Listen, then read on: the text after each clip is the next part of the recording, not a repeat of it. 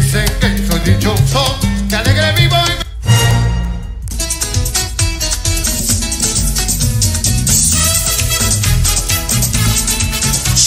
y Bienvenidos amigos a Rocky Te lo cuenta de Comunícate Mejor. Sí, a estas alturas de la vida, primero de noviembre y primer video del mes. Para todos ustedes y hemos titulado este video Dólar a 5 mil y pan a 200. Cortina de humo para restar la importancia al encuentro entre Petro y Maduro.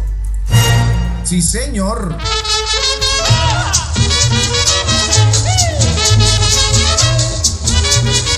Eso es una canción que se llama Panadera, porque vamos a hablar de panes hoy, eh, de todas las clases de panes que hay en este país, porque según esto va a volverse una locura dentro de poco y el pan va a subir de precio exorbitantemente. Pero eso es lo que vamos a hablar de la mano del dólar, que sigue subiendo según los uribistas. Era vida, sube otra vez. Eso que baja ya ni se ve. Y las habichuelas no se pueden comer. Una libra de arroz, una Entonces, mis queridos amigos, si no te quieres perder este video del dólar y el pan, ¿a qué se refiere todo esto? ¿Sí? Así como fabrican y divulgan las cortinas de humo y las antinoticias los uribistas para tapar lo realmente importante, hoy le vamos a mostrar esto, cómo están a la casa de los errores, los lapsus del gobierno del Gustavo Petro y también están pendientes de lo destacable para taparlo, así como hoy, a punta de dólar y de pan.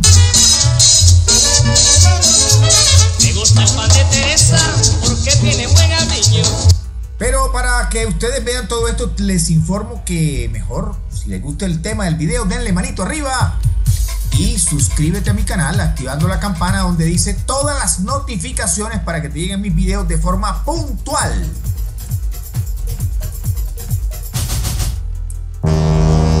Estos han sido los titulares hoy.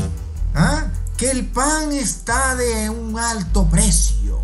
Que en 24 meses no sé qué cosas. Adiós al pan de 200. Bueno, y esa vaina de dónde la sacaron si el pan de 200 ya hace rato pasó por aquí. Sí, eso es como el dicho, agua que no te vi, cate pasó por aquí, ¿cierto?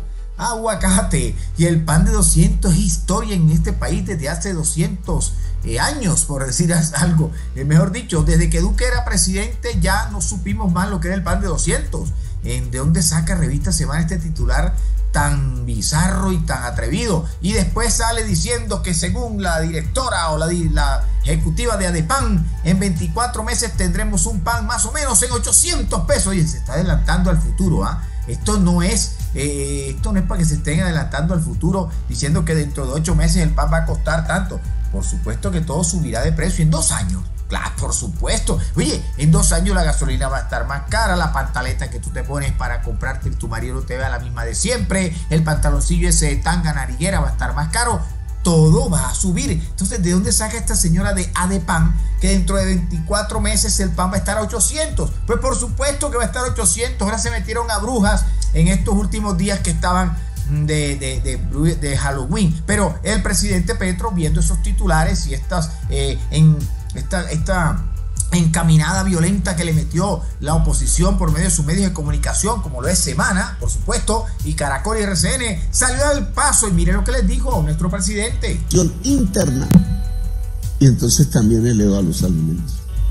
Leía en un artículo esta mañana en Twitter de algún periódico de ayer que eh, cómo se nos ocurre poner la reforma tributaria si se va a elevar el precio del pan. Una manera bastante triste de manipular la opinión pública. Porque el dueño del medio es al cual le vamos a cobrar los impuestos. Y entonces por su, digamos, falta de solidaridad con la nación en un momento de crisis para disminuir el déficit fiscal, no debería intentar mover la población con algo tan vital como su necesidad de suplir el hambre, a ver si sale a las calles a destruir la reforma tributaria que no le va a poner impuestos al pueblo, sino al dueño del medio. Porque establece una mentira. ¿Quién dijo que el precio del pan sube por la reforma tributaria? Oigan, sube porque la materia prima fundamental para hacer el pan se llama harina de trigo. Y aquí decidieron no sembrar harina de trigo desde... Más claro no canta un gallo, ahí se los explicó Gustavo Petro a todo el pueblo colombiano y aclarándose a los medios de comunicación que según ellos definitivamente no vamos a poder seguir comiendo este pan, eh, queso o pan de rollito, o pan hojaldrado, como le llaman en algunas regiones del país, o pan de mantequilla, como le dicen en la costa. No, ese pan ya no vale 200 pesos, mi señora. Este pan vale, por lo menos en barrio, en el barrio más humilde, podría estar alrededor entre 300, 400 pesos, pero a 200, eso, meras mentiras. O si no, pregúntele a un caleño en cómo está el pan cacho. Allá no se llama croissant, ¿ah? En Cali le dicen es pan cacho. El pan cacho no baja de 400 pesos, ¿ah?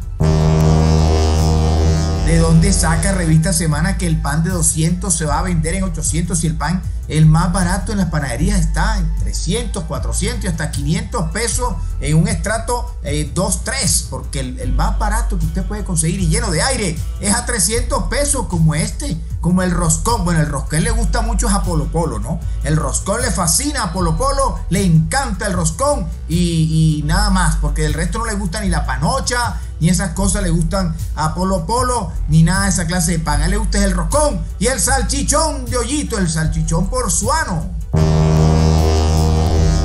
Eso sí, la gente en Cali va a tener problemas con el pan de bono, ¿ah? Porque es que a así les gusta comer pan pero pan con Coca-Cola, ¿ah? ojo con eso.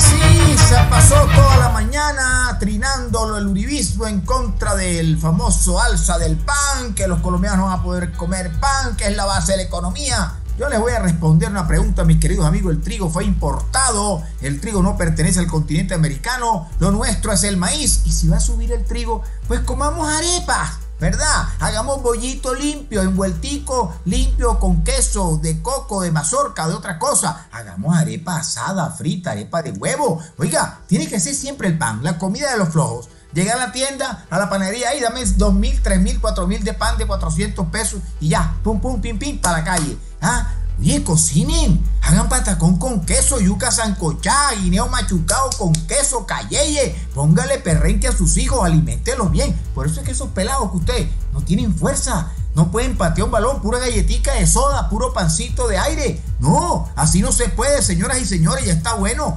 Vamos a cambiar los hábitos alimenticios.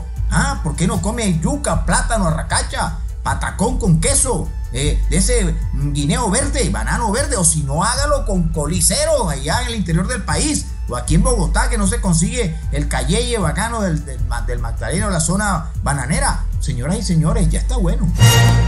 Y inmediatamente tenía que mencionar eh, algo sobre el pan, el hombre este que no le gusta la panocha, sino el roscón y el salchichón porzuano, el salchichón portuano, el salchichón de hoyito, le fascina a este y este salió a trinar diciendo, Petro dice que a quienes le subirán los impuestos a los productores, no al pan como tal.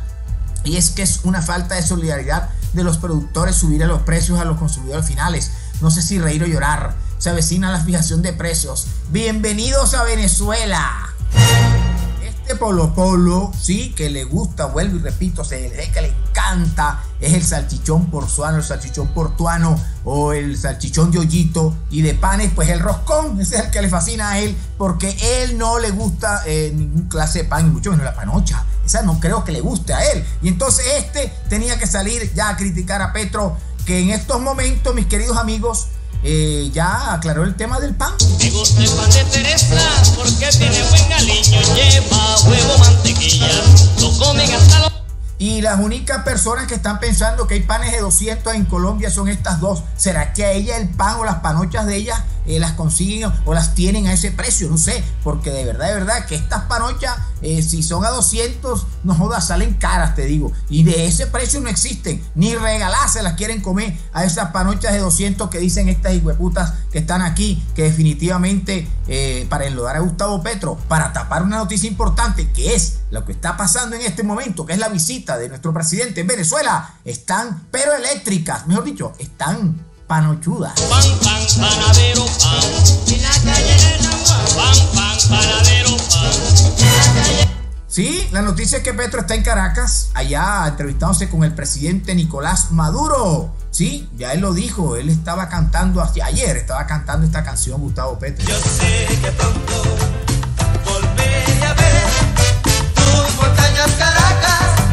Sí, y ya está ya entrevistándose con el presidente Maduro y aquí como esta noticia es lo importante y es lo que debe llamar la atención, se han enfocado en el temita del alza del pan, que es mentira, ¿sí? Que, que- es mentira por la reforma, porque si sube de precio es por los insumos que vienen de afuera. Ya Petro, nuestro presidente, lo aclaró. Gustavo Petro lo dijo, la harina de trigo es el insumo principal y eso viene del exterior porque aquí ya lo cultivan. Y esta es la noticia que está en Venezuela diciendo en este momento... Caracas, Caracas, como me gusta esa ciudad, pero qué lindas muchachas. Y así como cogieron el pan, la panocha, el roscón y demás para hacer y deshacer con esa vaina, le cuento que eh, hay que visitar, hay que volver al túnel del tiempo, miren.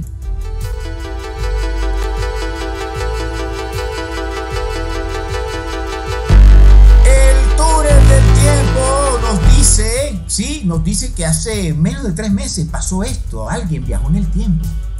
Eh, luego de conocer los resultados electorales y la elección de Gustavo Petro como nuevo presidente, ¿Recuerdan ese día? ¿Recuerdan esta protagonista de la noticia de este momento? Protagonista de este video, ¿lo recu- ¿la recuerdan? Sí, María Andrea Nieto, la del tal control de...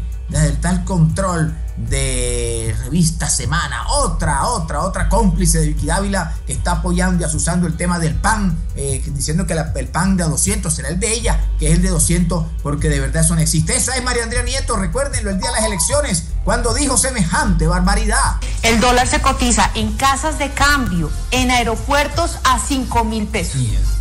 Sí. Eso lo dijo el día de las elecciones, pero hoy siguen diciendo eso. No ha pasado el tiempo, todo se detuvo o ella viajó al futuro y llevó la información porque según ellos hoy el dólar está a 5 mil. A 5 Eh, mil. luego a conocí- 5 Estamos mil. viendo otros picos, denuncian Así Eh, luego de conocer los resultados electorales y la elección de Gustavo Petro, Eso, eso es. Dice que el dólar a 5 mil. Y eso de verdad es Eh, la falacia más Cinco grande. mil pesos. O sea, Oiga, subió mil mil y pico. Ahí está. 5 creo mil pesos, eso nunca había pasado pesos. Ese Mil, la automáticamente no. cotización. Cinco mil. 5 mil, 5 mil, sí. Dicen ellas que están a 5 mil. Estas eh, que están abanderando el tema del desprestigio del gobierno nacional. Ellos dicen eso y de ahí por ahí de largo se pegan todos estos uribistas para hablar cháchara y seguir con el tema y meterse en las redes sociales y salir con unos trinos realmente desobligantes como el que salió protagonizando ese que vieron allí, el hombre que no le gusta la panocha, sino el roscón, ese señor eh, salió, tenía que salir con semejante locura de decir eso, con lo que salió. Petro y Francia son una máquina de producir miseria. La reacción de Miguel Polo luego de que el dólar llegara a 5 mil. Vea, le voy a decir la verdad, ese de dólar a 5 mil hemos buscado en algunas fuentes de divisas, FX Converter, Western Union y no está a ese valor. Yo no sé dónde saca esta gente que el dólar está por encima de los 5 mil. Y si así fuera, señores periodistas, como lo dice la Felipe Zuleteta, eh, uno, la, la Zuleteta, ese es Yera, Zuleta, Yera, Felipe. Eh, sí, el primo de Vargas Lleras, el que está en la W Radio trabajando con el ex primer cuñado de la nación. Este periodista dice también, a 5 mil, no tiene antecedentes y va a estar a 10 mil, pedazo de perro. Vanessa de la Torre no dice nada, pero salió con un escueto 5005. Ay Dios.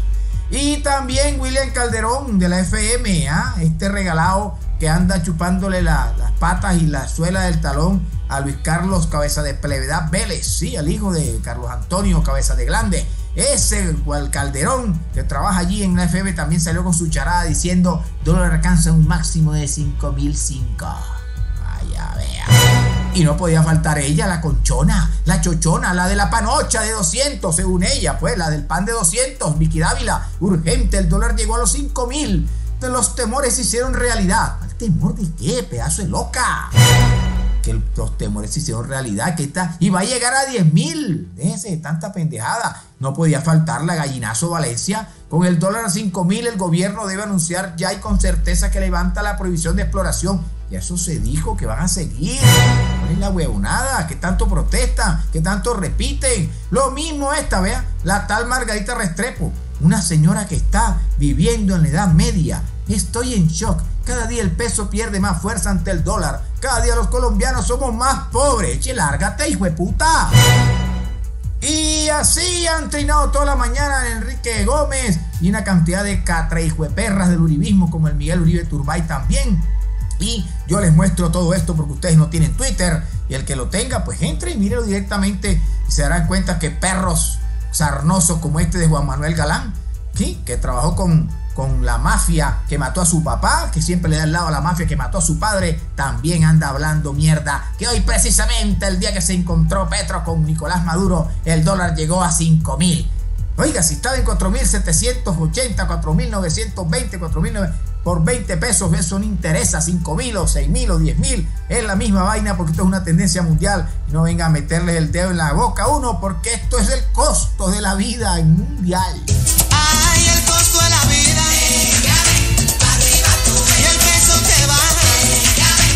Bueno, ahí está, esos son los protagonistas de las antinoticias, ¿ah? para tapar lo importante que Petro está en Venezuela arreglando temas cruciales para las relaciones bilaterales entre el vecino país y nosotros, para que se acabe la inseguridad en la frontera, para acabar el cuentico del tren de Aragua, para acabar el cuentico del narcotráfico, lo de las trochas, sí, el contrabando en las trochas, todas estas cosas feas, nefastas que suceden en la frontera. ¿Eh? Sí, trato de trata de personas, prostitución, violaciones, asesinatos. También estamos mirando a ver si se soluciona el tema de la Comisión Interamericana de Derechos Humanos. Como Petro logre que Maduro se integre a esto, señoras y señores, será el batazo que estaba esperando eh, el tío San para que Petro sea el mediador en toda Latinoamérica en este bloque de izquierda que está eh, más contento que nunca con la elección de Lula y que hace ver que la gente ya no cree en estos tipos de periodistas que se inventan estas noticias y que trabajan para la ultraderecha. Yo soy Rocky Rodríguez, mis queridos amigos, y como dijo por ahí mi querido amigo Quinito Méndez, ¿sabe cómo lo dijo mi querido amigo Quinito Méndez? Bueno, señores, esto se acabó, así que nos vemos. Nos vemos, espero que les guste el video. Compártanlo entre sus amigos y contactos y en redes sociales, WhatsApp, grupos y demás. ¡Chao!